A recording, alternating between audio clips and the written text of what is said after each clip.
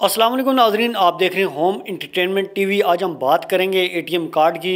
ATM card तो हर बंदा ही इस्तेमाल करता है, लेकिन आज इसकी एक मालूम आपके साथ में शेयर करूँगा कि एटीएम कार्ड का जो पिन कोड होता है, ये चार डिजिट का क्यों होता है? हालाँकि ये छः इंचों का होता, ज़्यादा सिक्योर होता।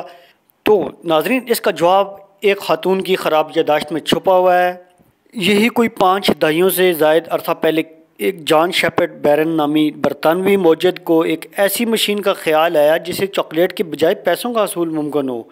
इस तरह इन्हें एटीएम मशीन का आइडिया आया। उन्नीस में लंदन में पहली बार एटीएम मशीन नस्ब की गई। मगर मशीन की तैयारी के साथ साथ जॉन शेपर्ड को यह भी एहसास हुआ कि सार्फिन के तहफ़ के लिए भी कुछ करना होगा। तो इसने इसका हल पिन कोड की शक्ल में निकाला। अपने पुराने फौजी नंबर को जेन में रखते हुए जान शेपर्ड ने इब्तदाई तौर पर छः हिंसों का कोड तैयार किया। मगर एक इंटरव्यू में इन्होंने बताया कि इनकी एहलिया केरोलिन ने इस ख्याल को किचन में बात करते हुए मुस्रद किया। इन्होंने बताया कि मेरी एहलिया का कहना था, वो सिर्फ़ चार हिंसों को ही याद रख सकती हैं।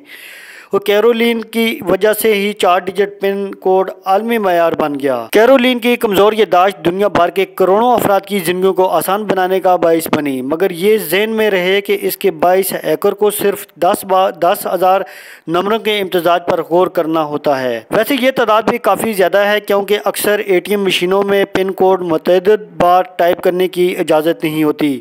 तो पिन कोड का अंदाज़ा कर लेने का अमकान भी कम होता है।